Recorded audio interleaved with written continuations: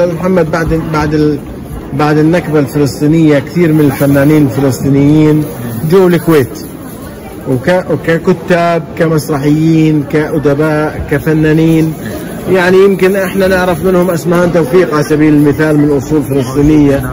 وكان كتاب ما ما مدى مساهمة آه هذا الحدث الجلل ووجود الفلسطينيين وأنت عاشرت الكثير منهم في الدراما وفي السينما وفي المسرح الكويتي.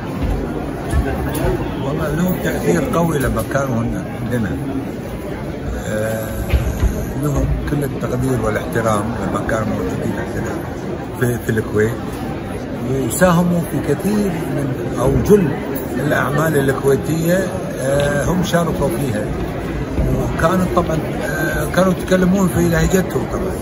بعضهم طبعا لما بحكم جلوسهم أو وجودهم في الكويت بدأوا يجيدون اللهجة الكويتية فأصبحوا يعني كويتيين. فنطلق عليهم يعني الناس الآن في المهرجانات يعني خاصة الاخت اسراء توفيق الآن لما يدعون يدعون من الكويت ما يدعون في مثلا الاردن أو في فلسطين أو شيء. كذلك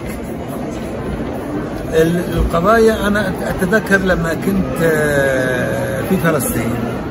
في نابلس أتذكر بالندوة. لما بديت الندوة يقولون إحنا في نابلس.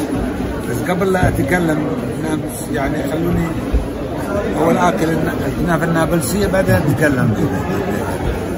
لكن هذا لا يمنع إن إحنا يعني جدنا الأمور كلها وإن شاء الله راح قلت لهم حاولوا إن تكون عندكم الدراما والأعمال سواء كان سينمائية بقصص تحكي عن فلسطين بس بأسلوب حضاري جميل راقي من غير تمسكون الدبابات والرشاشات و القوى الناعمة كثيرة.